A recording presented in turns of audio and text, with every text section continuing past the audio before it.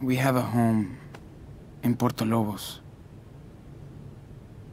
Dad wanted to return there.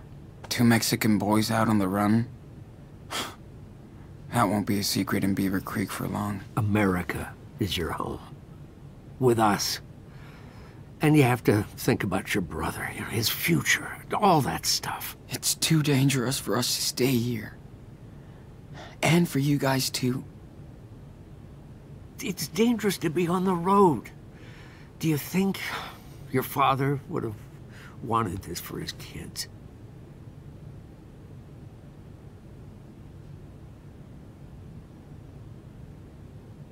Of course not. But everything's different now. I know. I know. Well, just think about it. But don't torture yourself. I will. Hey, uh... Claire said you had the keys for the tool shed? Oh, uh, sure. Here. You guys enjoy the sun.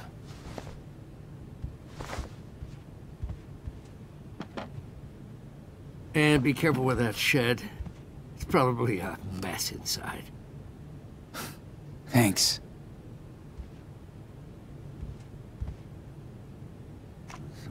It's good to see you in my lair.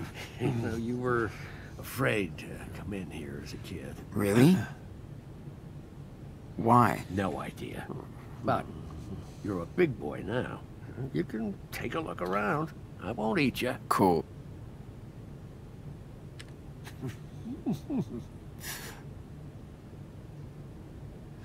Thank -hmm.